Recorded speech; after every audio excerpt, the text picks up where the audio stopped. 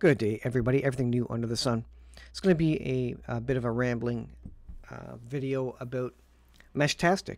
Now, uh, as I've uh, spoken about in uh, previous videos, uh, communications are going to be a key thing when World War II breaks out. Um, you won't know because communications are going to be down. Actually, maybe that will be why you have some indication, because all communications will go down. Cell phones, cell phones rather, will go down. Um, they're going to take out our satellites. Uh, they're going to take out cell phone networks. If we can't communicate, if GPS isn't working, uh, none of our technological, uh, technologically advanced society operates. People go mad um, when they can't talk to each other. They can't get messages through. They can't get emergency services, and um, that's basically what happened with the AT&T outage. Now, um, a longtime subscriber and uh, to my to my channel, Joe Joe D, uh, he uh, did bring up to my attention um, this idea of mesh Meshtastic, and I have seen this before, and uh, I looked into it, and there's pros and cons uh, relating to it. Now, of course, I've I've always suggested ham radio. Uh, go get go out and get your ham radio license. It's it's great learning. Uh, keeps your mind going. Gives you communications over long distances and short distances if you want, but it does require a license. Now, there's this. Um, idea of uh, what's called Meshtastic. You can go to mesh, meshtastic.org, I believe it is. And there's a whole um, uh, series of uh, pieces of hardware um, that communicate in a mesh and allow you to uh, send text messages. No license required, and it goes over 900 megahertz frequency, LoRaN. Now, LoRaN, I've always known about that as uh, something uh, that fishermen use, for example. They use LoRaN um, to communicate and and such on their on their fishing boats. Well, that same frequency range, uh, and LoRaN stands for long range, uh, is used in this case, as I understand it. Now, there's advantages and disadvantages to it. Now, this is a Ham Radio Crash Course, and he did a video, uh, a very, very interesting one and uh, timely, about uh, the AT&T outage and what happens when everything goes down. You need a system that you can rely on that's going to work outside of those cell phone networks. Now, ham radio, you know, requires equipment. It requires a license uh, legally to run it, and uh, it's uh, it can be expensive if you get an HF rig. But there's this thing, Meshtastic, it doesn't require a license. The radios, uh, uh, the hardware here, is fairly cheap. This is one example. Uh, and, and it works over um, um, kind of a short range uh, sort of idea. So the idea with these is that these are point to point or, or uh, rather mesh devices. They sync up with each other.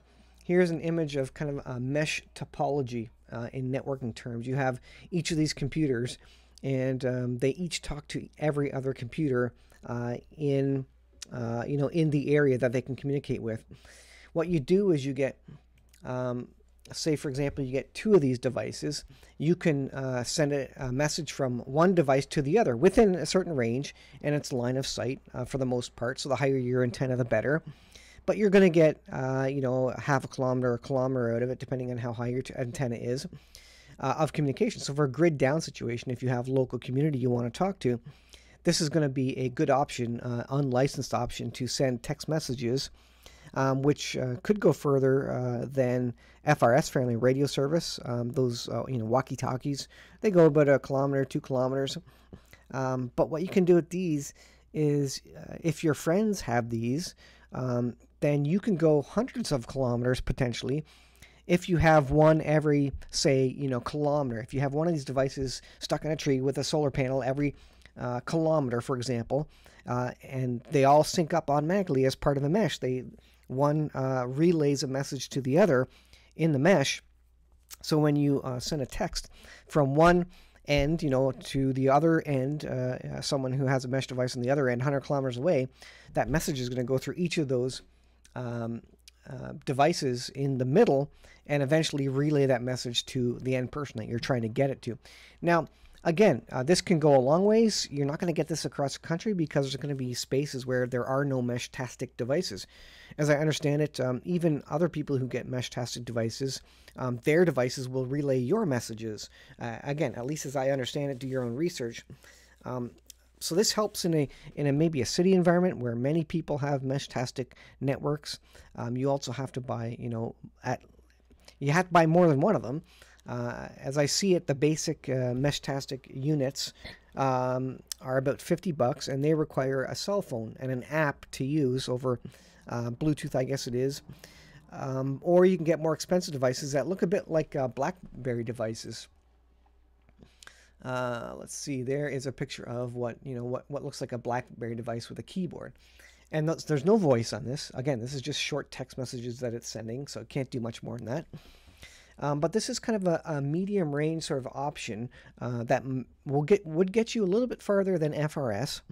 Um, but not as far as ham radio. Ham radio is going to get you around the world thousands of kilometers. But again, it assumes someone on the other side has uh, uh, an expensive device.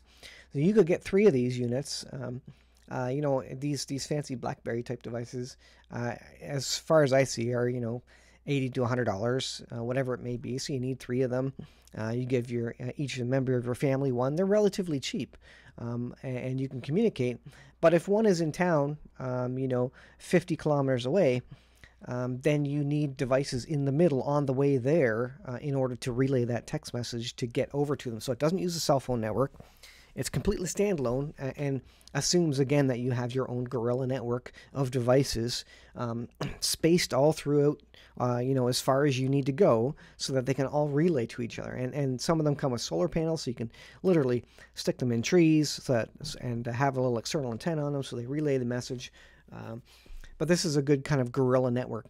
Now, if an EMP goes off, these are going to be toast. Uh, but same idea with FRS systems uh, or ham radio uh, equipment.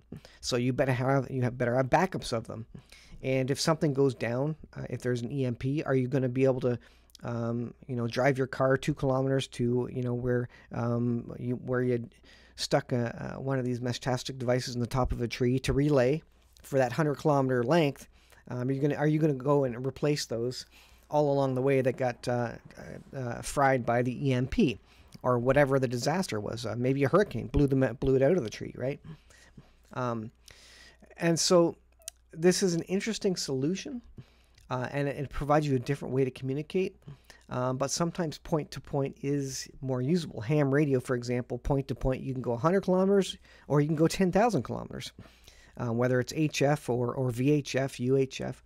Um, and uh, you know, in terms of EMP, uh, all each system is going to uh, have its vulnerabilities. But I think overall, uh, st still, you know, for the license that you have to get for it, ham radio is um, still a bit more versatile. Now, the nice thing about this is that you can encrypt the chat, the text messages, 256 AES bit encryption, as I understand it. Again, uh, whereas on ham radio, uh, you can't encrypt messages. It's voice or it's CW Morse code. None of that can be encrypted legally and uh, people can uh, monitor you. With this, it's completely closed off communication. Uh, it's in, again encrypted. The message is only uh, transmitted between your LoRaN devices, your Meshtastic devices. Um, now, can someone intercept that? Probably. Um, can they decrypt it? Maybe the intelligence agencies can. But again, you're probably not going to be. You're probably going to be a small fish in, in a big ocean uh, and no one's going to be interested in your little Meshtastic uh, network. Uh, but uh, again, if you have family and friends, you know, uh, within a, a, circle of about 100 kilometers, you would need a whole bunch of these Meshtastic devices to kind of get that communication going. So there's pros and cons to it. I think it's an interesting idea.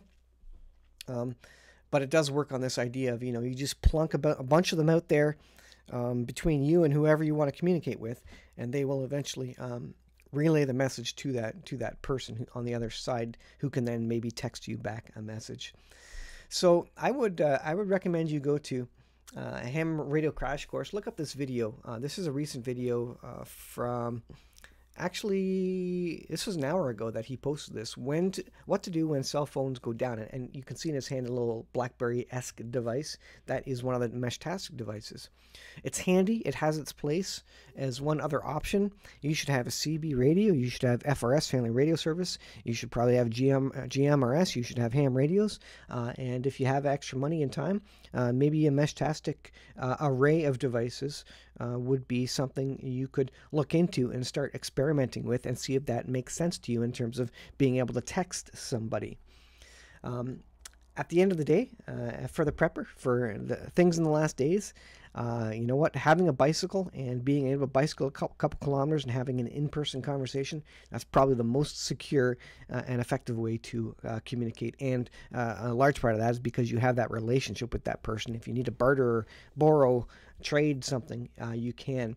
Um, so there there's downfalls with this these electronics is uh, maybe a little bit more obscure for a lot of people to kind of pick up and use and the fact that you have to have multiple um, meshtastic devices in between you and the end person who has that. So you may not have any communication with them whereas with uh, ham radio um, you're as long as you both got decent antennas you're probably going to be able to make the connection again but it's not going to be secure um, or protected. So something to think about. Uh, and I thought I would uh, put that up there, there. So thanks to Joe for um, uh, making me aware of that. And it is certainly uh, interesting uh, technology to say the least.